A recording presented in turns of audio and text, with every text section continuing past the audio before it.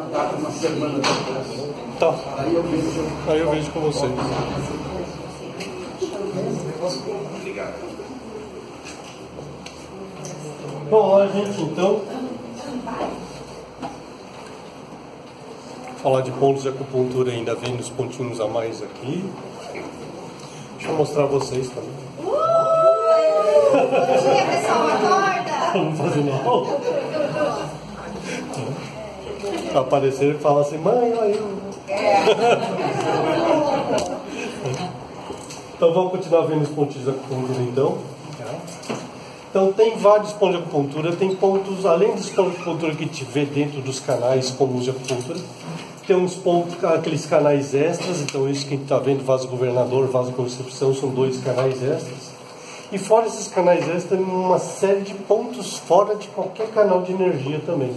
São por isso chamados de pontos extras de acupuntura. Ou seja, você não tem só 300 e tantos pontos de acupuntura, você tem muitos mais pontos de acupuntura, na verdade. Mas, como sempre, a gente não precisa aprender todos eles, que alguns são mais importantes. Um desses pontos extras importantes para a gente é esses aqui, ó. Tá? Um ponto bem conhecido, tem gente que usa bastante. Tá? Ele, esses pontos extras, de livro para livro, às vezes eles mudam a numeração desses pontos extras, já que eles não estão em canal nenhum. Às vezes um autor dá uma numeração X para esse ponto e um outro autor dá um número X, um nome Y para esse mesmo ponto. Então, em vez de dar uma numeração, tá lá, o ponto extra, o nome chinês dele é Intanque. Ele pode se traduzir como Palácio da Mente, Palácio do Espírito, mas ele, como os- todos os pontos que está vendo, como vendo, ele é um ponto mar de energia também. Ok? Então tem aquele ponto VG20 mar de energia Yang, VC1 mar de energia Yin, VC4 é o mar do sangue, VC12 é o mar dos alimentos, VC17 é o mar dos sentimentos. Ah, aliás, não falei onde está localizado o VC17 para vocês. Esqueci. Tá? Bem aqui na frente do tórax, você tem esse osso grande aqui chamado externo. Esse ponto VC17 ele está em cima do osso do externo, entre os mamilos. Tá? Então você imagina uma linha passando entre os mamilos, onde essa linha cruza com a linha média do corpo, em cima do osso do externo, está esse pontinho VC17. E se você der uma apertadinha nesse ponto, você vai sentir que ele costuma doer. Por que, que ele geralmente dói? Porque ele é mar de sentimentos. E todo mundo tem sentimento guardado nesse ponto. E é por isso que tem gente que coloca a agulhinha e fala para não usar depois. Tá? Ou até para tirar a agulhinha desse ponto. Tá? Começa a liberar essa, esses sentimentos. Tá? Então esse daqui é o ponto VC17. Ok, esse ponto é entre os mamilos. Depois vou ter que cortar isso do vídeo aqui, mas vamos lá. Tá? Porque é o seguinte, tá? Aqui entre os mamilos. O problema é como é que você vai encontrar esse ponto em algumas mulheres. Porque numa mulher, como é que você vai localizar esse ponto? Você vai falar assim para ela, olha, eu preciso ver onde é estão os seus mamilos, para achar esse ponto vai ficar um negócio meio, meio estranho, tá? E de repente você vai pegar algumas pessoas que os mamilos não estão muito bem posicionados, né? Estão meio tortinho assim, então, uma linha torta, então não dá para localizar desse jeito. Então, como é que eu vou achar esse ponto em mulheres também? Tá? É o seguinte, tem uma outra forma melhor de ser localizado. É um pouquinho complicado, só que é fácil. tá? Ó, aqui você tem esse osso chamado externo. Ele vem desde aqui de cima, tá? embaixo do pescoço, até aqui embaixo. Então você vai pegar esse externo inteirinho, desde a parte de cima dele, vai palpando, palpando e ver onde é que ele está terminando.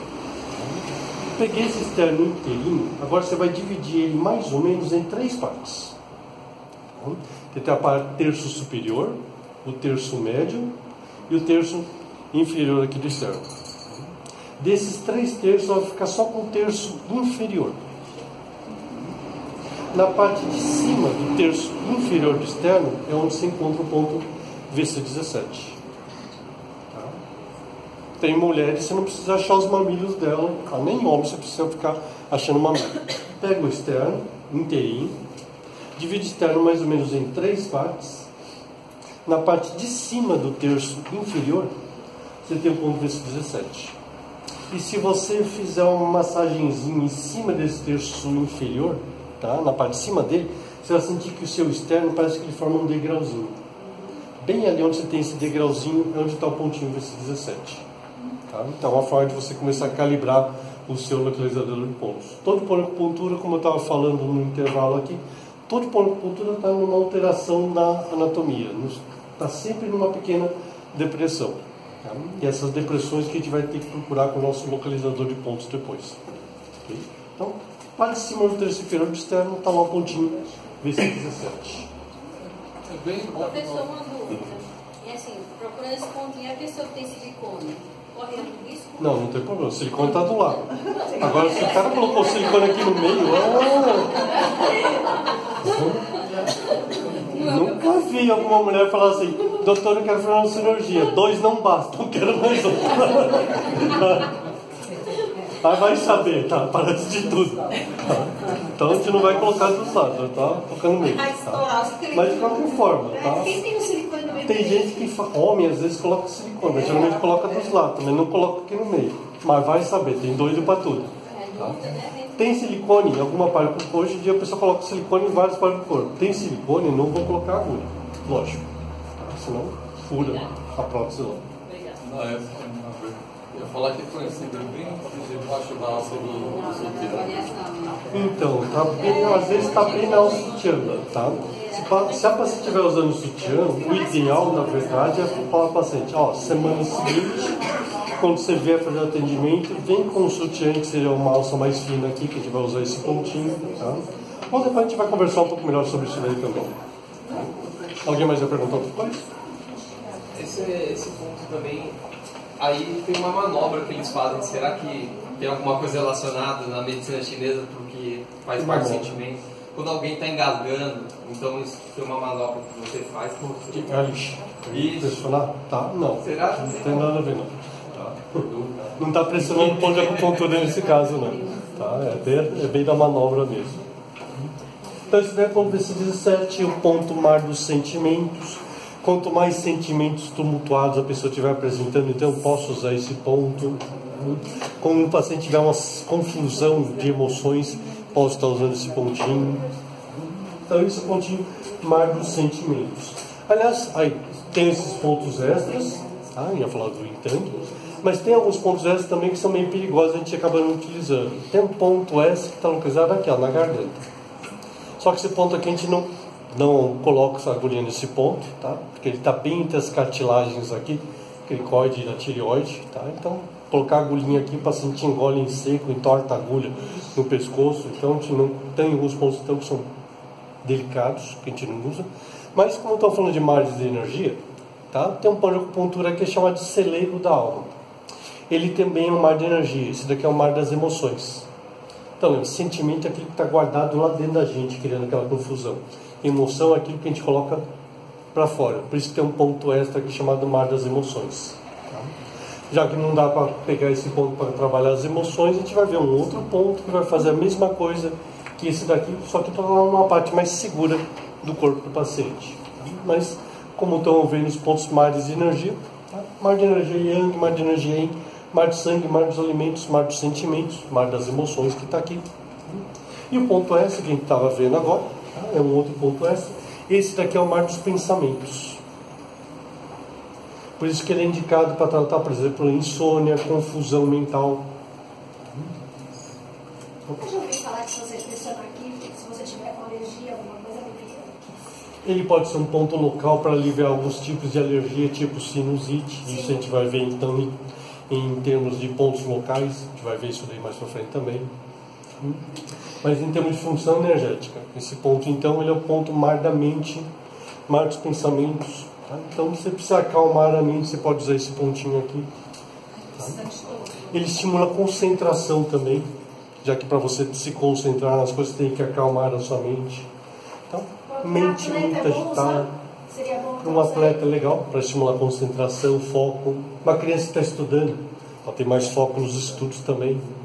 Uma criancinha que tem déficit de atenção, tá? hiperatividade, posso estar usando esse ponto também. hum? Que ele acalma a mente, estimula a concentração. Essa é a capacidade energética desse ponto, então, esse ponto mar de energia. Que é um mar dos pensamentos. Geralmente, quando eu mostro esse último ponto aqui, tá? mar dos pensamentos, o pessoal também pensa em chakras. Tá? O pessoal fala que esse daqui é o chakra frontal, tá? Chakra ter- da terceira visão, que o pessoal fala também. Né? Se bem que se você for ver todos os pontos que a gente viu até agora, que são mares de energia, corresponde a um chakra, na verdade. como eu falei numa aula anterior, na verdade muita coisa da medicina chinesa veio da Índia também. Tá? Inclusive esse conceito desses mares de energia. Chakras basicamente o que são? São lugares onde a energia está concentrada. Esses pontos que a gente está vendo são mares de energia, lugares onde a energia está concentrada. Então tem um quadro que está no material, inclusive, de vocês, né? onde o VC1 é o chakra básico, o VC4 é o chakra sexual, o chakra umbilical é o VC12. E tem uma coisa interessante nesse chakra, né? porque na verdade ele não está no umbigo, apesar de chamar chakra umbilical. Isso quer dizer que você tem dois umbigos. Tem um umbigo que é o buraquinho na sua barriga e tem esse outro umbigo que é o chakra umbilical. O chakra de baixo ligava você e a sua mãe, físico ao físico. Esse chakra umbilical liga você ao seu espírito ou ao seu corpo espiritual. Então, o pessoal que vai fazer viagem astral, geralmente eles falam que tá, tem um cordão de energia que fica ligado ao corpo físico, que liga o corpo, o corpo etéreo ao corpo físico. Esse cordão de umbilical, esse cordão de energia sai do chakra umbilical ou sai do VG20 também. Tá? Esse VC12 está onde? Localizado? Esse VC12 onde é que ele está localizado? Tá? Achei um umbigo, finalzinho de externo. No meio dos dois, VC12. É o VC12 então. VC17 é o mar dos sentimentos, aquele que está entre os mamilos, né, na região do tórax. O chakra laríngeo da garganta, que é aquele ponto que a gente não vai usar, celeiro da alma, ponto extra. O chakra frontal, que é esse ponto que a gente acabou de ver, o Intan. E lá em cima na cabeça, o VG20 é o chakra coronário. Vocês estão tirando foto, mas lembra, esse quadro eu deixei para vocês no material de vocês. A gente Tem quer que ter no material. no celular está mais. Tá? Não tem problema. Tem esse- esses pontos que correspondem a chakras, lugares onde a energia está concentrada. Então, todo ponto de acupuntura, na verdade, alguns deles correspondem a chakras. Todo ponto de acupuntura, na verdade, é como se fosse um pequeno chakra, uma pequena concentração de energia. Então, aqui você tem os chakras e os pontos de acupuntura são chacrinhas que vocês têm distribuídas ao longo do corpo. Para localizar esses chakras de energia, esses pontos de acupuntura, então a gente tem uma medida, que é aquela da polegada. Então, essa daqui é a medida da polegada, né? Não o dedão de comprido, mas o dedão vistilado. Então, isso daqui é uma polegada. Para economizar também, ó, quatro dedos correspondem a três polegadas. Tá? Então, quatro dedos vai dar umas três polegadas. tá? Mais ou menos. Então, não tem precisão nenhuma nessas medidas aqui. Dois dedos vai dar uma polegada e meia. Então, algumas medidas estão a tantas medidas mais meia polegada, então dois dedos dão uma polegada e meia. Então, uma polegada, três polegadas, isso cria confusão às vezes, tá? Quatro dedos dá três polegadas. ó. Isso daqui é uma polegada e meia. tá? Então, se você quiser com medida. material. Ah, isso aqui não. Isso é novidade. Chinês não escreve direito, né? Chinês escreve esquisito. Isso daqui é o símbolo que representa medida. tá? Na verdade, está desenhado de ponta cabeça aqui. tá? Vocês perceberam que está de ponta cabeça, né? Lógico. Tá está de ponta cabeça aqui, tá? Na verdade, ele estar desse jeito. tá? Isso significa medida. Se eu tirar um risquinho aqui, isso significa polegada. Tá? Então, com dois risquinhos é medida, com um risquinho só é polegada. Isso quer dizer que a polegada é uma fração de uma medida. tá? Mas se eu tivesse desenhado, se eu não tivesse falado que isso daqui é polegada, vocês conseguem ver isso daqui aqui? Não, a não ser que eu faça assim, né? Ah, vai vendo. mas a gente tem um botão. É que na verdade isso daqui é uma fração de uma medida. Que tipo de medida? Medida assim, você está na sua casa, você tem um espaço vazio na sua sala e você está querendo colocar alguma coisa para ocupar aquele espaço vazio, num móvelzinho lá. Tá? Aí um dia você está andando na rua, passa na frente de uma loja e vê uma escrivaninha lá que você acha que vai ficar direitinho, bonitinho, naquele canto da sua sala. tá? Aí você vai lá, só que você está na dúvida, porque esse canto da sua casa está bem perto da porta, se esse imóvel for um pouco maior, vai bater na porta. Então você vai lá para o vendedor e pergunta para o vendedor, que tamanho que tem esse imóvel? Porque aí você vai ver o tamanho, você vai servir no canto da sua casa lá que você está querendo colocar aquela escrivaninha. Tá? Só que o vendedor fala que ele não sabe quanto que aquele imóvel mede. Aí você pergunta para ele, você tem alguma fita métrica, uma régua, alguma coisa? Ele fala que não, não tem. Tá? E você quer comprar aquele imóvel, mas quer ter certeza que vale a pena, você vai caber naquele espaço. Só que você não tem régua, não tem fita, não tem nada para medir, como é que você vai medir aquele móvel para ter uma ideia básica para ver se ele vai ser. Tá? Sabe como é que você faz? Não, você vai usar uma medida que está mais prática, literalmente está nas suas mãos. Você vai usar isso daqui, ó. Você consegue ver isso daqui agora aqui, ó? Tá? É que isso daqui, ó, é uma medida, tipo um compasso, tá? Isso daqui é uma medida da sua palma.